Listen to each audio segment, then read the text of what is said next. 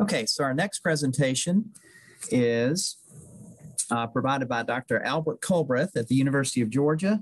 And Albert received his uh, BS and Masters from the from Auburn University, PhD at um, at NC State University with a major in plant pathology and a minor in plant breeding. And one thing that Albert does at UGA um, that is um, certainly recognized around the world is his work with tomato spotted wilt virus and also his work with um, leaf spot management and uh, lots. So his, his plate is very full. Um, but what we've asked Albert to do today is uh, talk to us about, um, to give us a brief history of tomato spotted wilt virus in peanuts. So thanks for being here, Albert, and um, we'll let you get going.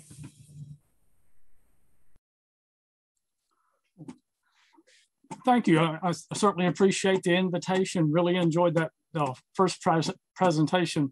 See if I can um, share my screen and and visit tomato spotted wilt.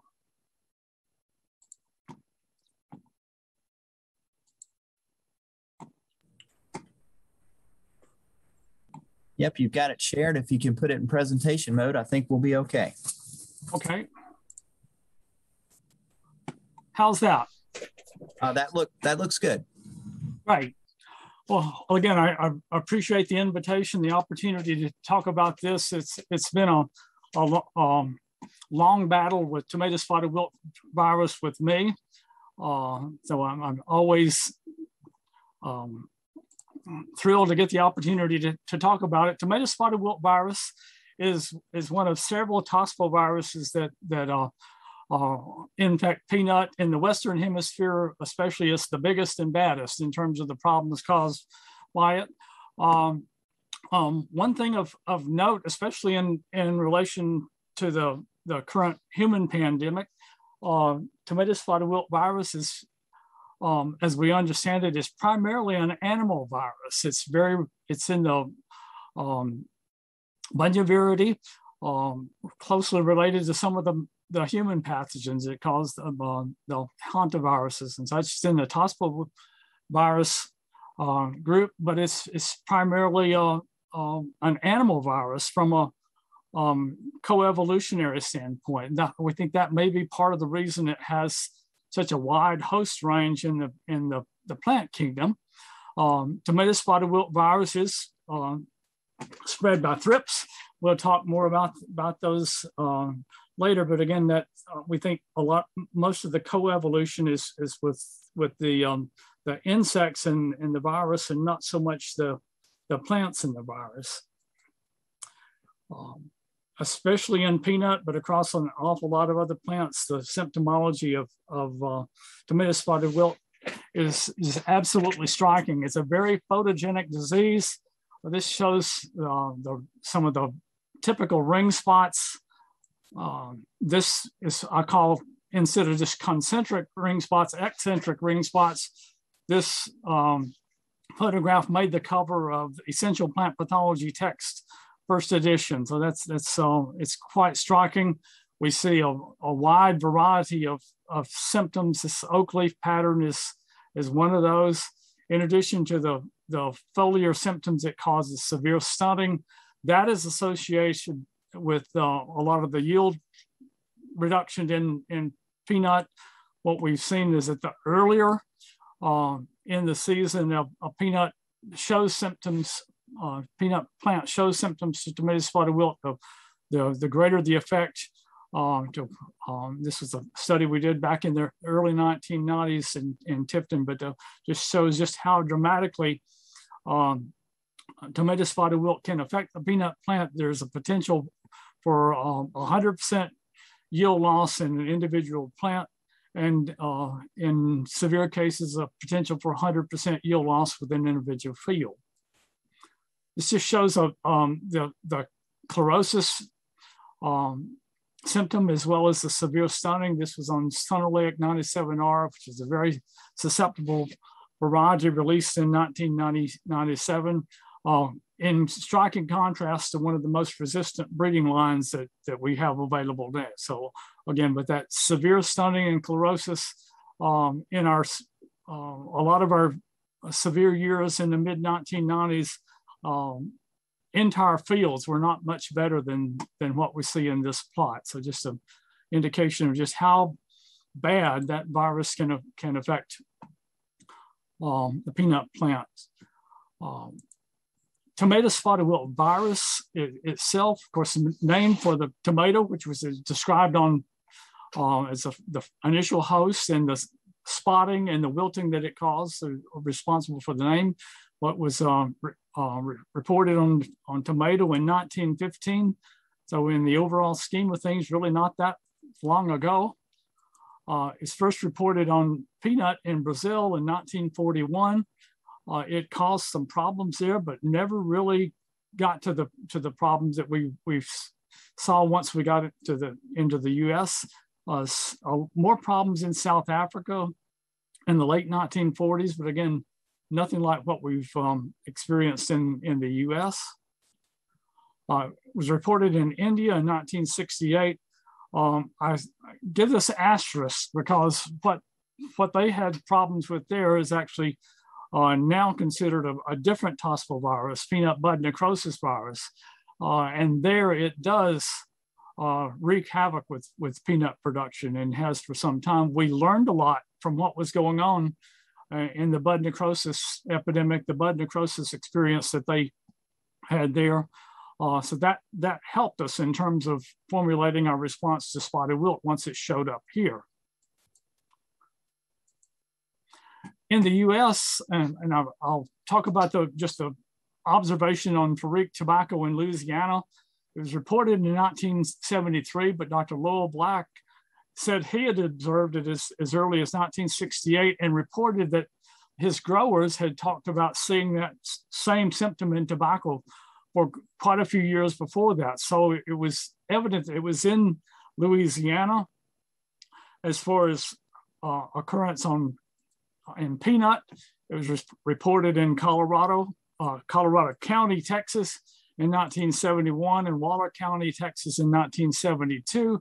Didn't do much damage there. Typically reported just around the edges of the, the peanut fields.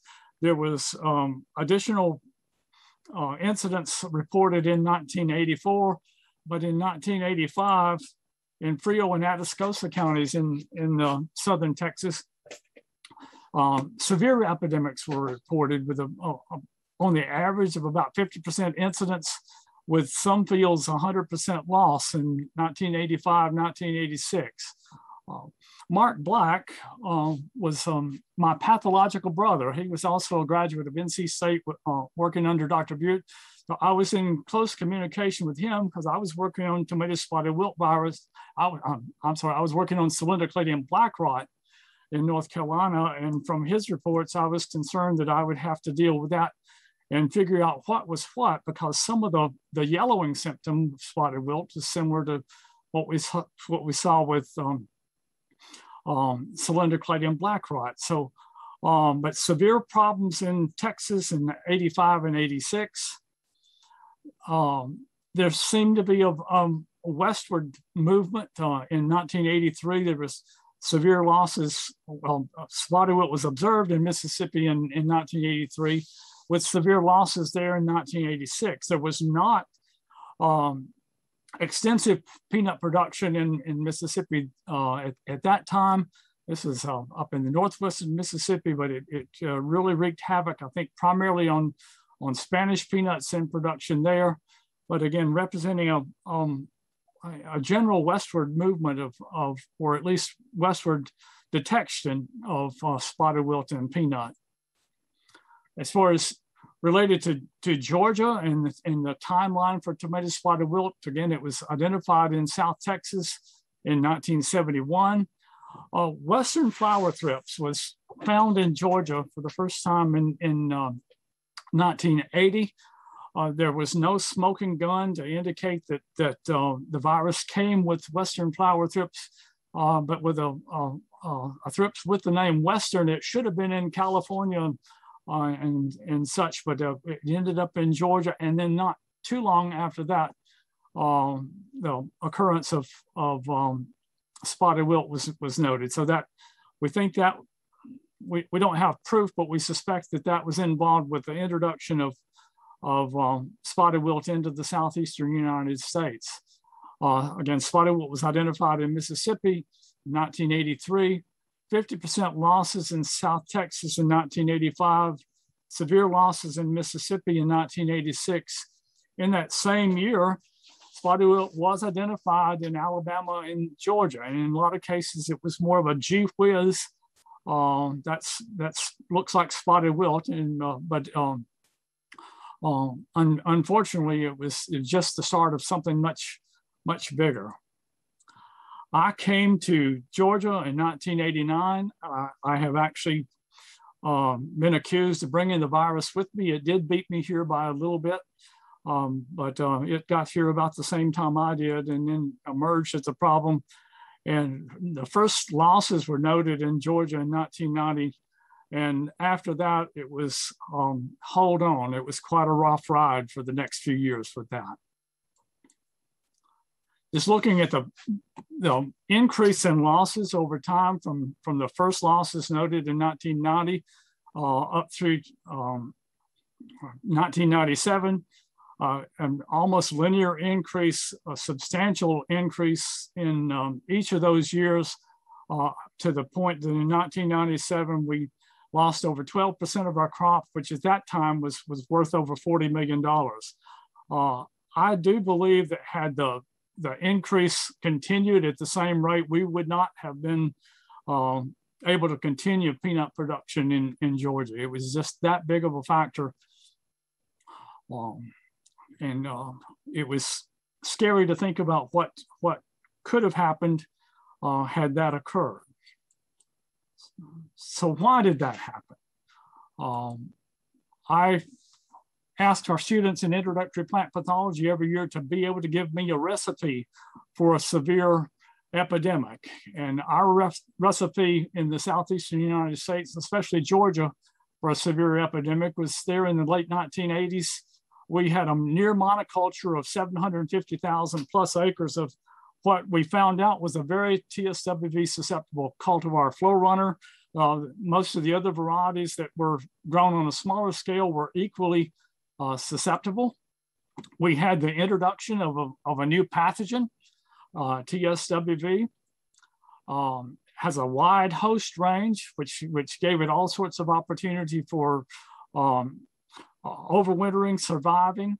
Such, we had the Western flower thrips that was new to the area, um, which, which, is a, a, very capable vector. We think that is involved in, in the overwintering, but we also had the tobacco thrips, which had been a long time um, problem with um, uh, in peanuts and, and cotton in the in the southeastern United States. So all of those factors came together. We had a, a, a really good recipe for an epidemic just with that. But in addition, um, much of our crop in Alabama, Florida, and Georgia at the time was planted in April, some uh, as early as March. And what we found out uh, was that the planting date was a was a very important factor with with tomato spotted wilt virus epidemics.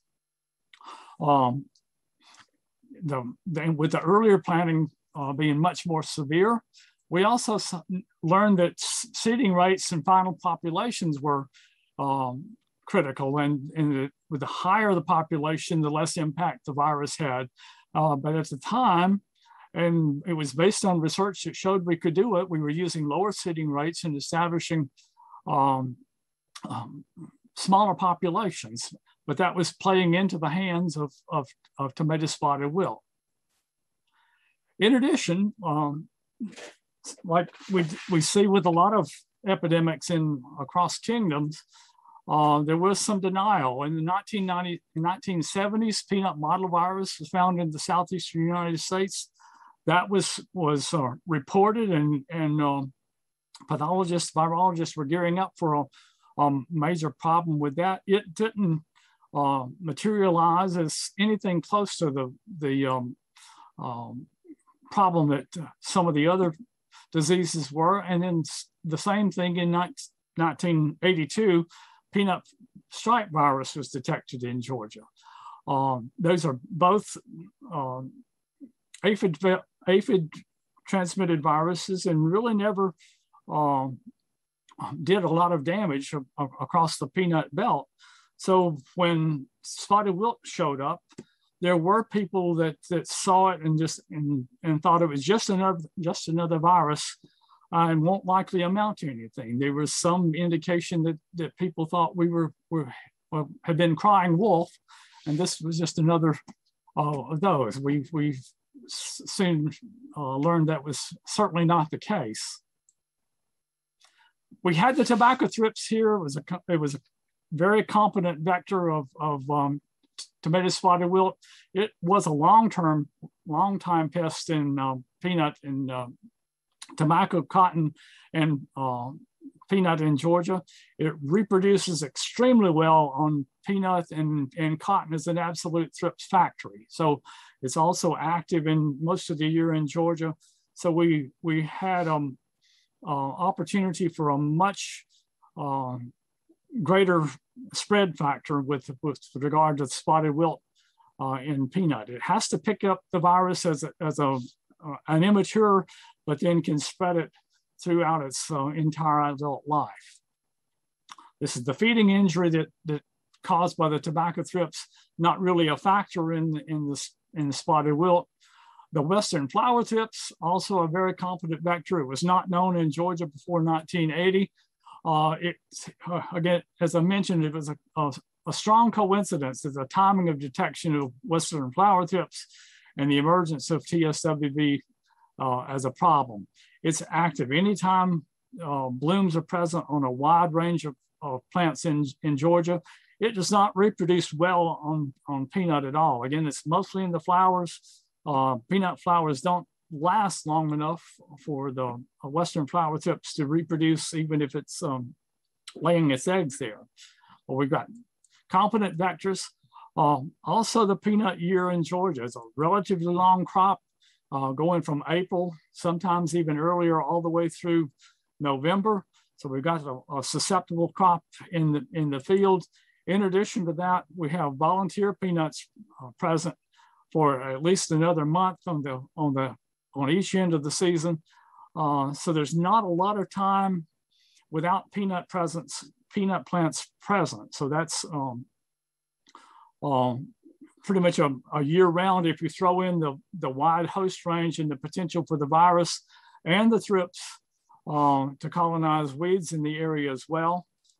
Uh, and then the peak populations of, of the western flower thrips typically um, about the time we were, we were um, planting a, a, lot of our peanut crops. So um, that's involved, but we think with, with the effects of, of um, planting date on um, incidence of the virus.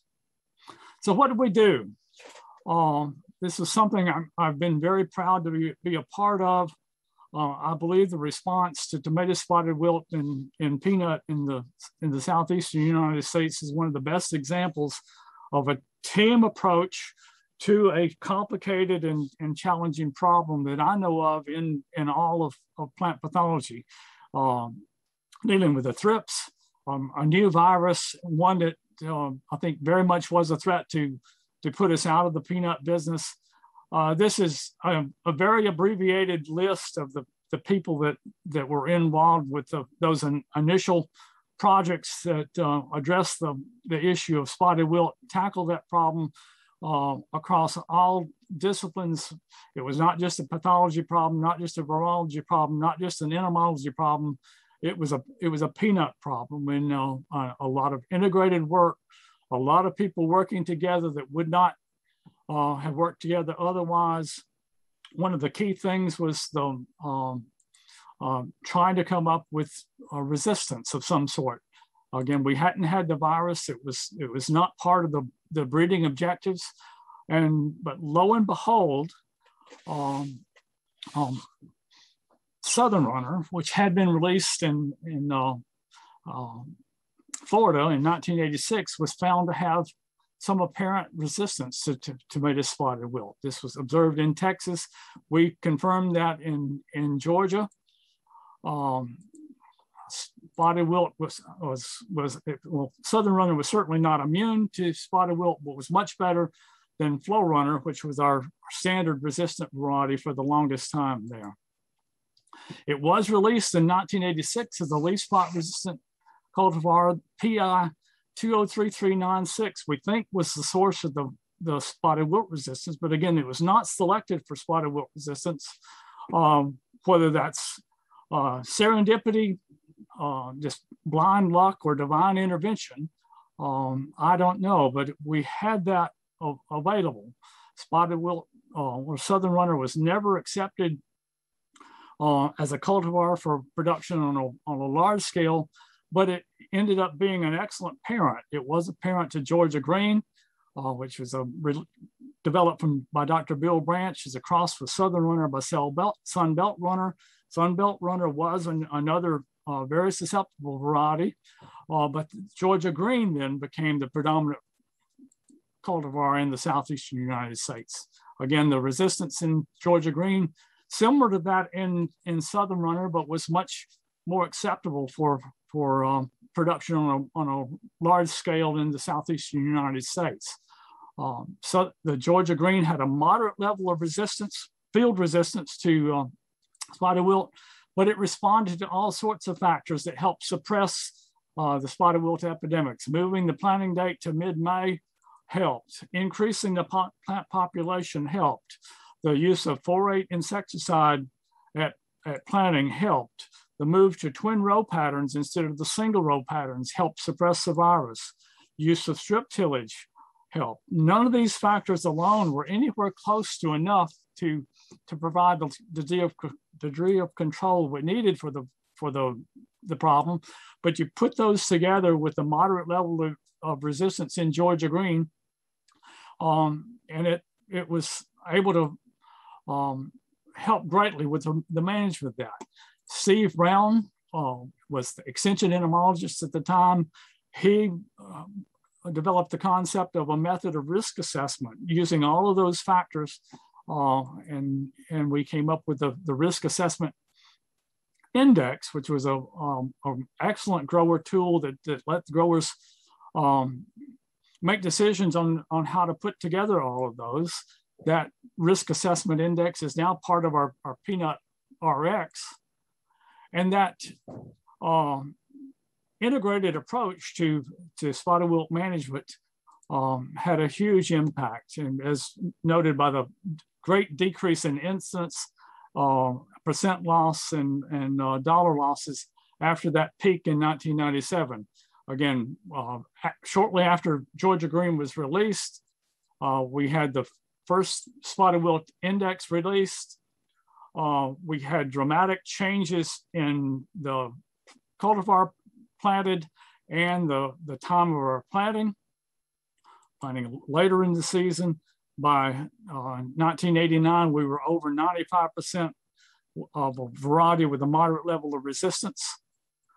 Uh, and by the 1st of May, we, we were uh, less than 2% of our crop planted before May 1st. So we've had a huge impact on uh, the losses to spotted wilt. Again, it was a team approach and integrated approach in terms of management. Um, uh, extremely successful.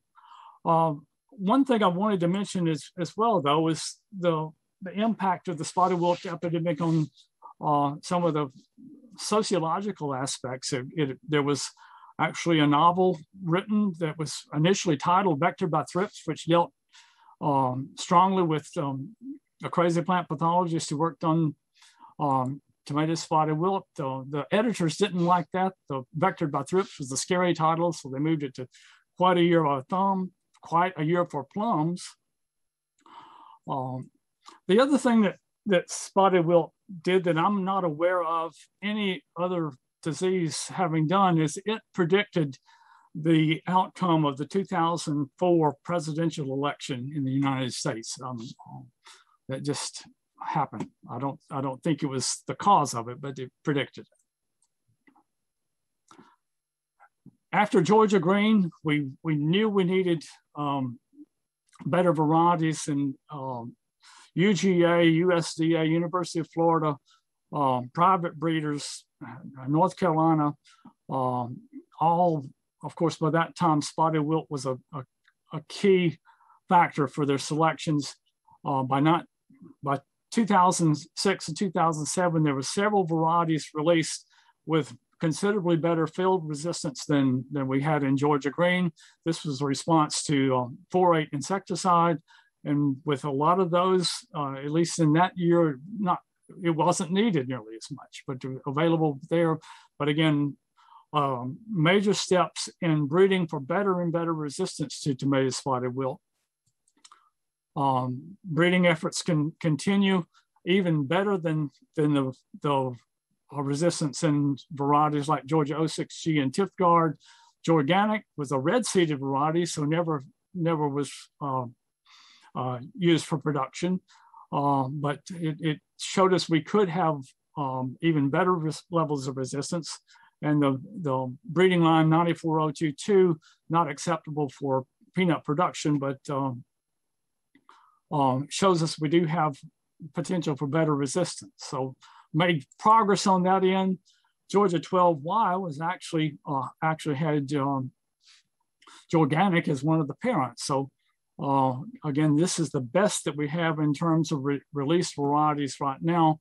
Uh, huge difference from from Florunner and the susceptible SunOleic 90, 97R in years past. So, and again, this is the 94022 um, again, being used in mapping studies. And I think that's um, not so much the for the history of spotted wilt, but I think this is the future. I think we have um, great potential to um, increase the resistance that we have, um, not just from hypogaea, but also from some of the, um, the wild species.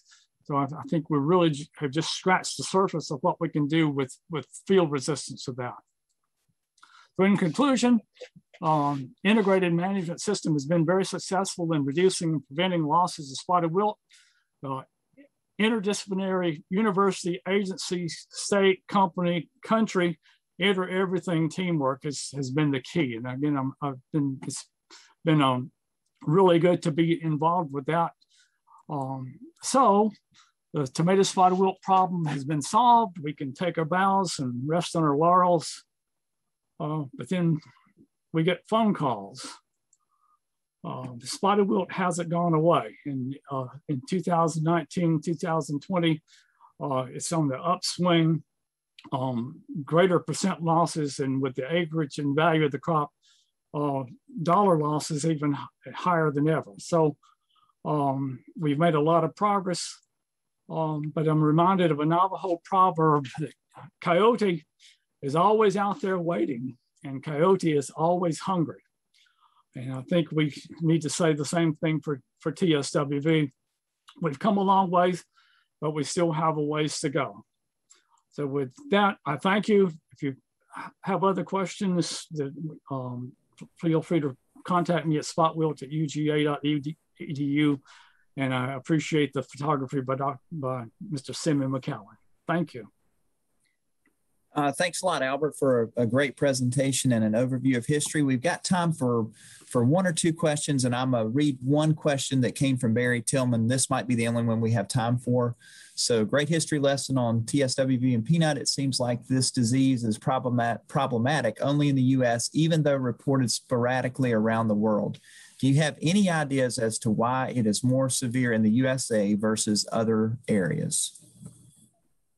Um, basically just a, a, a, swag in terms of the ideas. I, I think the the uh, key thing for the southeastern United States is the the, um, interaction with the, the the crops, multiple crops, multiple weeds with the thrip species that we have, and and uh, I think the combination of the introduction of western flower thrips, which has a, a wide host range in itself, doesn't seem to do that much on on peanut, but I think that's a it's a key part of the the the virus um, cycle uh, in the southeastern U.S. And then to have a, a species like the, the tobacco thrips, uh, which just so many numbers, so many generations, not just on peanut. Again, spotted wilt is not really a problem on cotton, but but cotton is a thrips factory for for um, uh, something like a tobacco thrips. So I think to me that that combination of the interaction of the uh, the diversity of hosts and and also the thrip species, I think is the the reason it took off um, so strongly and has maintained itself so strongly in the southeast um, compared to um, other parts of the world where it, it occurs from time to time on peanut, but uh, and does do severe damage from time to time, as do several of the other um, viruses. But uh, I think uh, they don't have the the um, I guess the the um, that looming thrips population that we do. So. Thanks, Albert. Thanks for that. That's a that was a great answer and, and one I've thought about as well. And I think um, in interest of time, we're going to move on to our next speaker. Again, thanks, Albert, for all you've done with spotted wilt and for your presentation today.